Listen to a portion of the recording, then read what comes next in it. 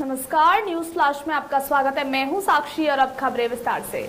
निशुल्क मास्क बांटकर कोरोना से बचाव की आमजान से की अपील। नागौर ज़िले के थावला ग्राम में गौरक्षा दल के भामाशाहों द्वारा निशुल्क मास्क बांटकर कोरोना से बचाव हेतु वजह घर से बाहर नहीं निकलने की आमजान से अपील की गई। गौरक्षा दल ने ग्रामीणों से कहा कि सरकार के नियमों का उल्लंघन नहीं करें और पुलिस की सहयोग प्रदान करें। इसके लिए गली गली में जाकर आमजान को निशुल्क मास्क वितरित किए गए।